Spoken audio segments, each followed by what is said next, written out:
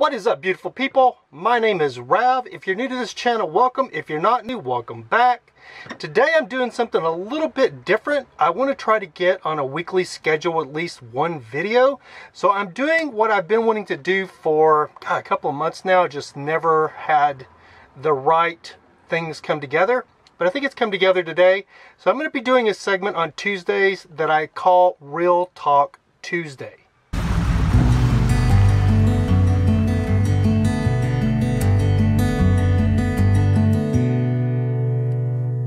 Yeah, Real Talk Tuesday, where I just talk about van life and things I like about van life, maybe things I don't like about van life. And the main thing is I just want to keep it short and sweet, try to keep it around five to seven minutes max. So to give you guys an idea, this video shouldn't last any more than 10 minutes for sure. Sometimes I'm pretty long, um, who am I kidding? I'm always pretty long-winded when I start talking, but I'm really going to try to keep it short and sweet today for Real Talk Tuesday. So every Tuesday from now on, if I'm in a situation where I have internet and I can, I'm going to try to do a little short talking video that I'm going to be putting in its own category. So if you're looking for my vlog videos with drone footage and all that, this is not going to be one of those. So you know now, if you don't want to hear me talk, you can just tune out. It's not going to hurt my feelings. But before you tune out, be sure to click that like, that thumbs up button and be sure to subscribe because there's going to be some cool vlogs coming up in the future. Anyway, to Real Talk Tuesday. I want to touch base today on a thing that I've been thinking about a little bit since I've been hanging out with my good friend Noah. And you will you will have seen Noah in my last video. We did a tour of his toy hauler. I'll try to link that down below in the description, maybe up here. Anyway, to that video that we did, or it'll be at the end of this one maybe.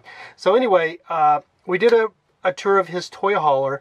And since I've been hanging out and working with Noah on some projects and stuff, he has basically given me a spot here in his driveway while I'm working with him or while we're collaborating. And so I've been parked here. I'm hooked up to electricity.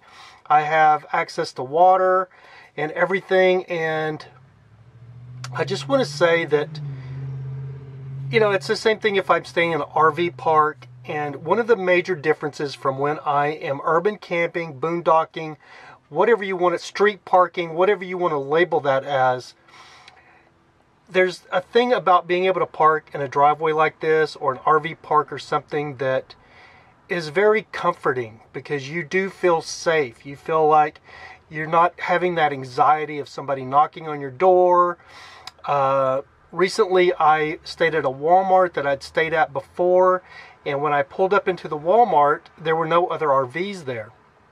And it's a local LA Walmart that I'd stayed in before. They do have overnight parking signs, but one of the apps that I used said that they allowed overnight parking.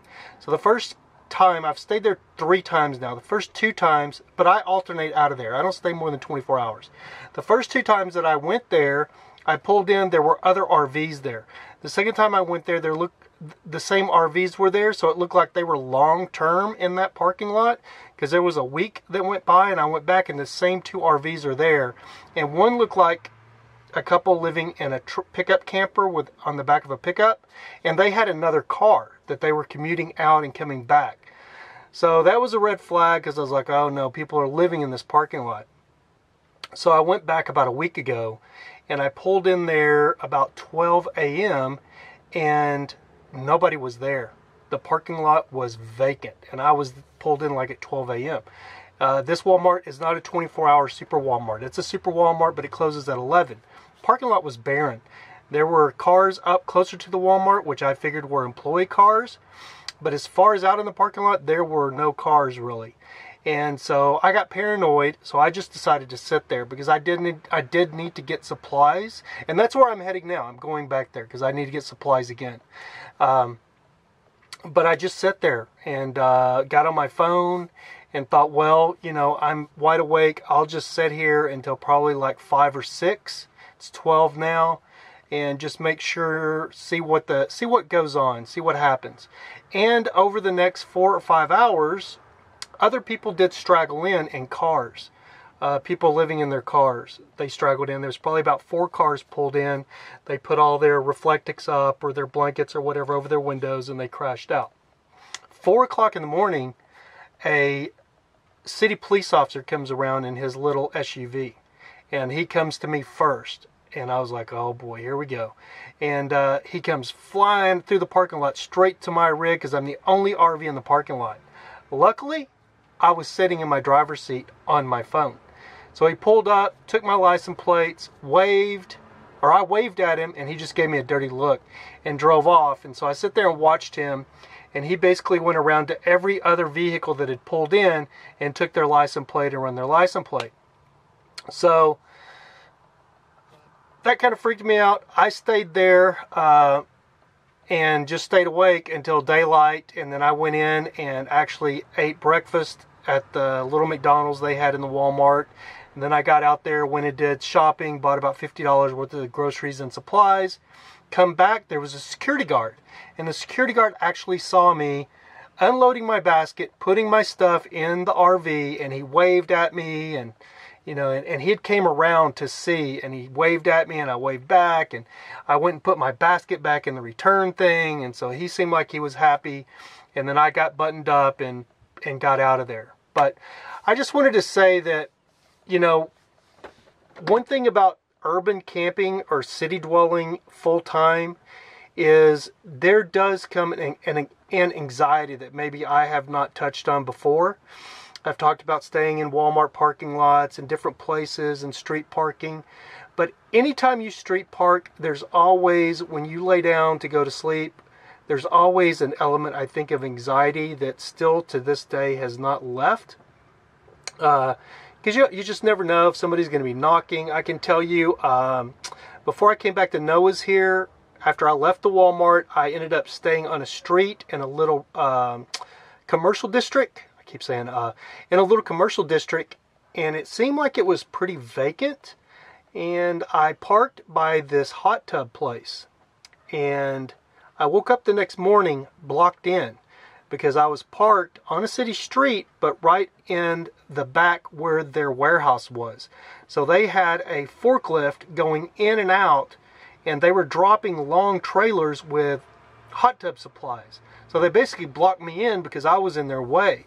So I literally had to wait about two or three hours and uh, before they moved everything enough to where I could get myself and get out of there. So I just wanted to touch base on that. Um, it's not something that should deter you from van life if you're wanting to do van life.